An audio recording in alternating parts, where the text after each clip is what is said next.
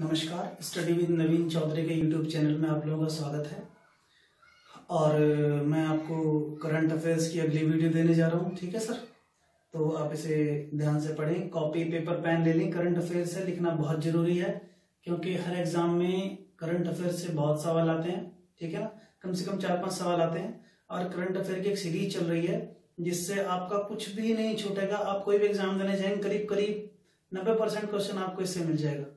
और मैं कोशिश करूँगा कि इसे इतना रोचक बनाऊँ, इतना बेहतरीन बनाऊँ कि आपको इसके अलावा कुछ और पढ़ना ही ना पड़े। फ़िलहाल तो आगे करंट अफेयर शुरू करते हैं, ठीक है? ध्यान से सुनिए कॉपी पेपर पेन सब ले लीजिए, लिख लीजिए प्लीज़ ठीक है? तो ये पहला क्वेश्चन जो पहला पॉइंट पॉइंट है, ये ऑपरेशन प्रहार। तो दरअसल ऑपरेशन प्रहार किसने चलाया, पता है? ऑपरेशन प्रहार ना इस वक्त हरियाणा ने चलाया हुआ है। और हरियाणा ने इसलिए ऑपरेशन प्रहार चलाया है कि जितनी भी ड्रग्स है, इसे लोग आजकल बहुत ज़्यादा मात्रा में ले रहे हैं, नशा कर रहे हैं। नशा होने के कारण मतलब जितना भी हमारा युवा है यूथ है, वो नुकसान की तरफ़ मतलब अपने क्षति की तरफ़ जा रहा है। मतलब युवा नुकसान कर रहा है, अपना देश का नुकसान कर रहा है, केवल इस ड्रग्स की वजह से। तो तो इस ड्रग्स को रोकने के लिए हरियाणा सरकार ने एक मिशन लॉन्च किया है, जिसका नाम है मिशन प्रहार। ठीक है ना? और ये ड्रग्स को इसलिए रोकना चाह रहे हैं कि बिल्कुल हंड्रेड परसेंट रुक जाए ताकि नशा मुक्त हो सके हरियाणा। ठीक है? उन्होंने भविष्य में ये भी सोचा हुआ है कि ड्रग्स को हटाने के लिए एक ड्रग्स की एक पूरी टीम पूरी एक यूनिट भी बना रहे हैं वो नारकोटिक्स डिपार्टमेंट के नाम से स्पेशल यूनिट जो केवल यही काम करेगी, जो कि बाहर से आने वाले ड्रग्स को या ड्रग्स स्मगलिंग को रोकने में मदद करेगी। अब ड्रग स्मगलिंग कहाँ से होती है? तो दो जगह है जहाँ से ड्रग स्मगलिंग होती है। एक को बोलते हैं गोल्डन ट्राइंगल एक को बोलते हैं गोल्डन क्रीसेंट अब आप पूछेंगे गोल्डन ट्राइंगल क्या है गोल्डन क्रीसेंट क्या है? तो गोल्डन ट्राइंगल में तीन कंट्रीज़ आते हैं और गोल्डन क्रीसेंट में भी तीन कंट्रीज़ आते हैं। तो गोल्डन ट्राइंगल में आने वाले जो तीन कंट्रीज़ हैं, वो म्यांमार, थाईलैंड और लाओस हैं। और गोल्डन क्रीसेंट में जो आने वाले तीन कंट्रीज़ हैं, वो पाकिस्तान, ईरान और अफ़गानिस्तान है। ठीक है ना? तो आपको ये भी पता होना चाहिए कि गोल्डन ट्राइंगल क्या है मतलब स्वर्णिम त्रिभुज और गोल्डन क्रीसेंट क्या है ना स्वर्णिम क्रीसेंट क्या है? तो पाकिस्तान, ईरान, अफ़गानिस्तान, ये तीन कंट्रीज़ ऐसे हैं जहाँ से ड्रग्स स्मगल होती है इंडिया के लिए, ठीक है? तो प्लीज़ ड्रग्स एक बुरी आदत है, इसे छोड़ दें। या किसी भी प्रकार का नशा एक बुरी आदत, नशा नहीं करना चाहिए, ठीक है? पिनाक मिसाइल सिस्टम तो पिनाक मिसाइल सिस्टम भारत ने डेवलप किया है, ये एक स्वदेशी मिसाइल सिस्टम है और ये मिसाइल 30 किलोमीटर तक सतह से सतह पर मार करने में सक्षम है। वैसे कहा जा रहा है कि मिसाइल कहीं भी 30 किलोमीटर तक मार कर पाती है। ठीक है? तो आगे बताना चाहूँगा कि अगला क्वेश्चन है कि राष्ट्रीय गणित दिवस। तो राष्ट्रीय गणित दिवस 12 दिसंबर को मनाया जाता है और ये श्रीनिवास रामानुजन जी की याद में मनाया जाता है। और इनके ऊपर एक मूवी भी बन रही है श्रीनिवास रामानुजन के ऊपर, जिसका नाम है the man who knew infinity, एक इंसान जो अथाह जानता था। इस लाइन का मतलब है, बाकी मूवी का नाम है, the man who knew infinity. और वास्तव में जितना कुछ वो जानते थे, इतना कुछ शायद कोई गणितज्ञ जान पाया हो। बाकी इतनी कम उम्र में उन्होंने बहुत कुछ दिया भारत को, क्योंकि उनकी मृत्यु करीब 32 से 35 वर्ष की उम्र के बीच हो गई थी, क्योंकि जिस समय वो इंग्लैंड गए हुए थे, लंदन में तो वहाँ पे वहाँ का खाना उन्हें नहीं रास आया। तो उनके पेट में परेशानी हुई, जिस वजह से वो कुछ टाइम वहाँ रहे, उसके बाद वापस लौट आए भारत और यहाँ पर आकर भी उनकी मृत्यु हो गई। करीब पैंतीस वर्ष की अवस्था में। ठीक है ना? तो श्रीनिवास रामानुजन जी की याद में ये बारह दिसंबर को राष्ट्रीय गणित दिवस मनाया जाता है। अगला क्वेश्चन है, चिल्लाई कला क्या है? ठीक है? तो चिल्लाई कला जो है, वो एक कश्मीर में दो महीने बहुत कड़ाके की सर्दी, बहुत कड़ाके की ठंड पड़ती है और बहुत बर्फ़ पड़ती है, उस दो महीने के सीज़न को चिल्लाई कला कहते हैं। जैसे गुलमर्ग। तो मर्ग का मतलब समझते हो? मर्ग मतलब कश्मीर के अंदर वो जगहें जहाँ पे घास के मैदान हो, उन्हें मर्ग कहा जाता है। ठीक है? इस तरह से चिल्लाई कला। वो दो महीने का मौसम जब बहुत अधिक सर्दी पड़ती है, बर्फ़ पड़ती है। ठीक है? तो जितने भी मर्ग हैं, वो सब घास के मैदान हैं, जहाँ पे कश्मीरी लोग अपने जानवर चराने जाते हैं। ठीक है? अगला सवाल है कि किस राज्य ने स्कूलों को कैटेगराइज किया है? तो एक राज्य है जिसने अपने स्कूलों को कैटेगराइज किया है, वो अरुणाचल प्रदेश है। अरुणाचल प्रदेश ने अपने राज्य को ना तीन कैटेगरीज में बांटा है, हार्ड, मीडियम और सॉफ्ट।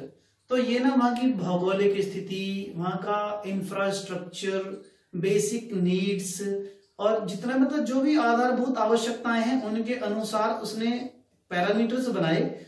और स्कूल्स को डिवाइड किया और डिवाइड करने के बाद उन्हें तीन कैटेगरी में बांटा। ठीक है ना? जो मैंने अभी आपको बताई सॉफ्ट मीडियम और हार्ड तो इसलिए बांटा है कि जब उसने भी एक सर्वे किया तो पता लगा कि वहाँ पे जो टीचर नियुक्त किए गए थे, वो कॉलेज नहीं स्कूल नहीं जा रहे थे, वो एबसेंट थे सभी के सभी। जब उनसे पूछा गया, क्या बात है? तो टीचर्स ने बताया यहाँ की हम वहाँ पहुँच नहीं पा रहे हैं, या कहीं की भौगोलिक स्थिति खराब है, या कहीं का इंफ्रास्ट्रक्चर मतलब आधारभूत ढांचा खराब है, या कहीं पे आधारभूत सुविधाएँ नहीं है फैसिलिटीज़ नहीं है। तो ये सोचते हुए उन्होंने ना इसे तीन कैटेगरी में बांट दिया था। अब उन्होंने एक चीज़ और डिसाइड की कि जो भी नए टीचर नियुक्त होंगे, वो दो साल हार्ड कॉलेज में, हार्ड स्कूल में पढ़ाएँगे, उसके बाद पाँच साल मीडियम में पढ़ाएँगे और बाकी का समय वो सॉफ्ट स्कूल्स में पढ़ा सकते हैं। ठीक है ना? तो इस तरह से उन्होंने इसे बांटा है। तो अरुणाचल प्रदेश ऐसा राज्य है। ठीक है? अगला है कि नई कॉमन करेंसी किसने दी है?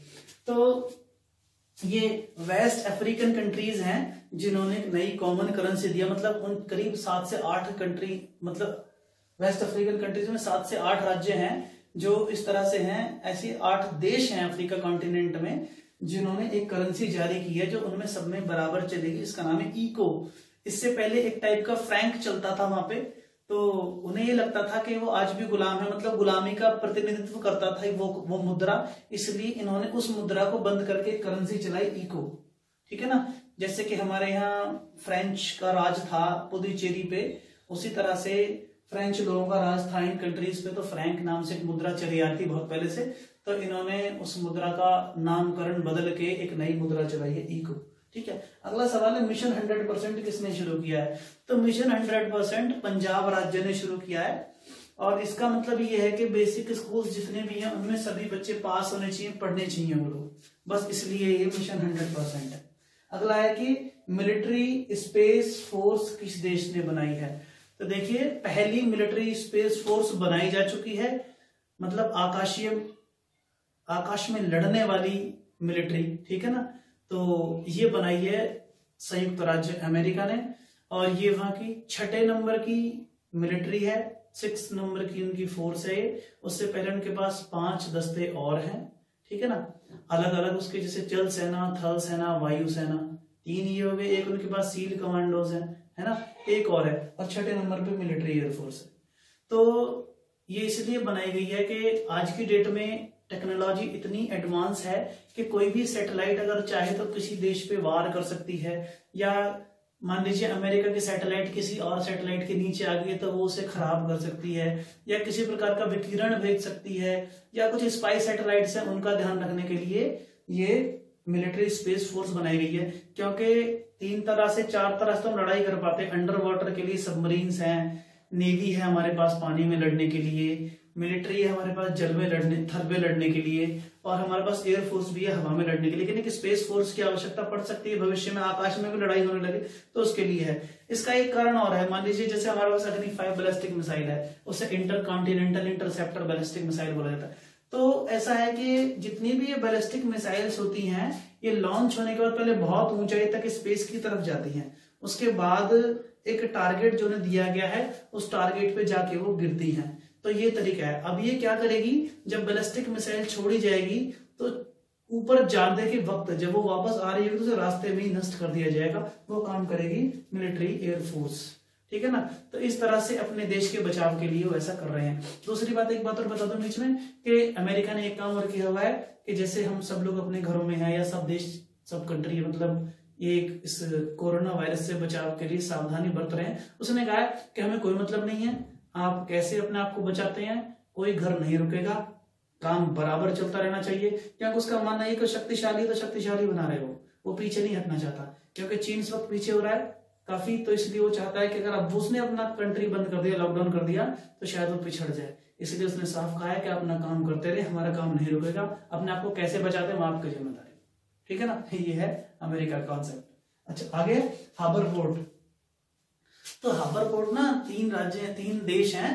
एक तो इंडिया है, एक ईरान है और अफ़गानिस्तान है। इन तीनों का ज्वाइंट वेंचर है। इन तीनों ने मिला के हाबर पोर्ट बनाया है। और हाबर पोर्ट का कॉन्सेप्ट इतना है कि हाबर पोर्ट भारत से जाने वाला जो सामान है, वो ईरान और अफ़गानिस्तान तक जा सके। बाकी जा तो पाकिस्तान के थ्रू भी सकता है, लेकिन पाकिस्तान में ऐसी स्थिति है कि उसने रास्ता खोल दिया है ट्रेन लाइन चला दी है, पर उस पर भरोसा नहीं कर सकते। इसलिए हाबर पोर्ट बनाया गया, और हाबर पोर्ट जहाँ पे वहाँ से एक हाईवे शुरू होता है, जो वहाँ से अफ़गानिस्तान तक जानता है, ईरान से अफ़गानिस्तान तक, क्योंकि हाबर पोर्ट ईरान में है।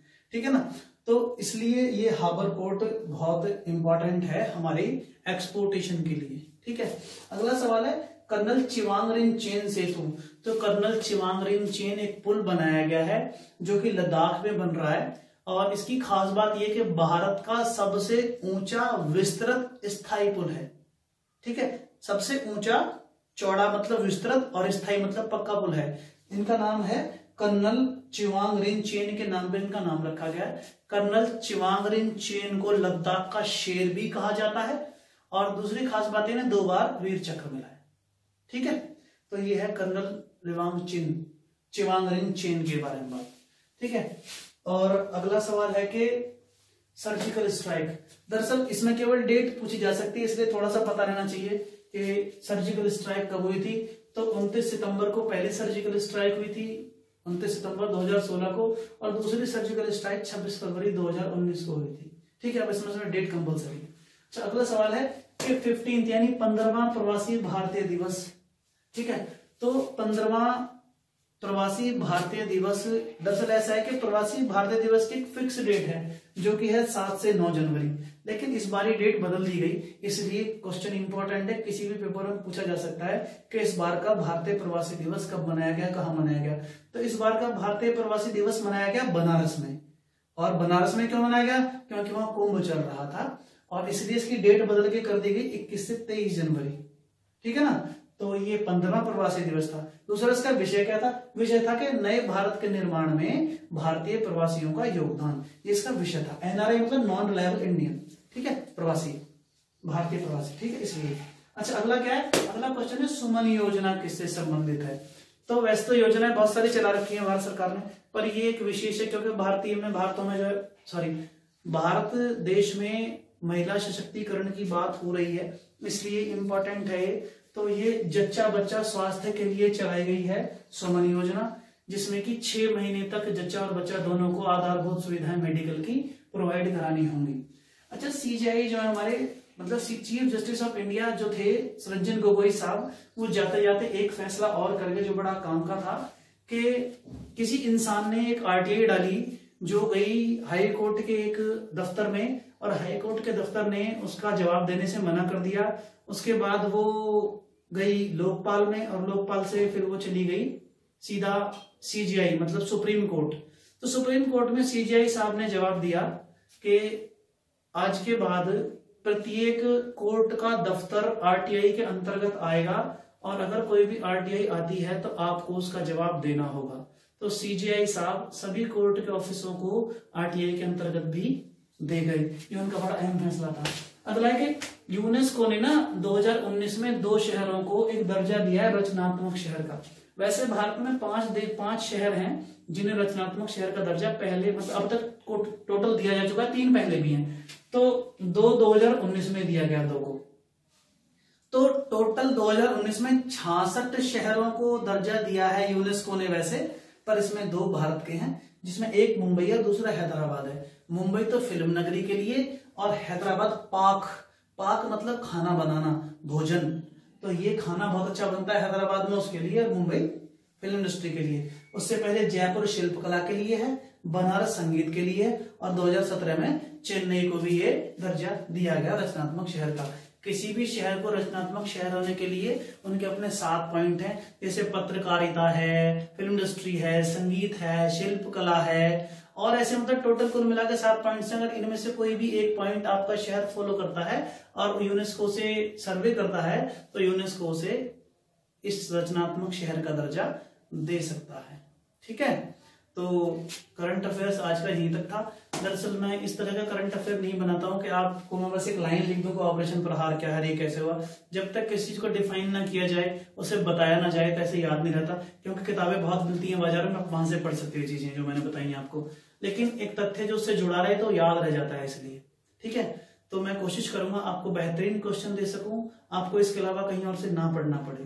प्लीज़ आप मुझे लाइक करें सब्सक्राइब करें, और हाँ एक मैसेज और कि पुलिस ने ना लाठियाँ सैनिटाइज करनी शुरू कर दी हैं। इसलिए घर में रहिए। जब तक हमारी सरकार ये डिक्लेयर ना कर दे कि अब हम सुरक्षित हैं, तब तक आप घर में रहें, घर से बाहर ना निकलें। क्योंकि एक मैसेज चल रहा है कि जब ठोकेगा इंडिया तभी घर पे रुकेगा इंडिया ठीक है ना? तो इसलिए आप सब लोग घर पे रहें, अपना ख्याल रखें। और स्टडी करते रहें ताकि जैसे ही आपके पास कोई एग्ज़ाम आए और आप स्टडी करके तुरंत उसे क्रैक करके भारत के विकास में योगदान दें, आप आगे बढ़ें। यही शुभकामना के साथ, धन्यवाद।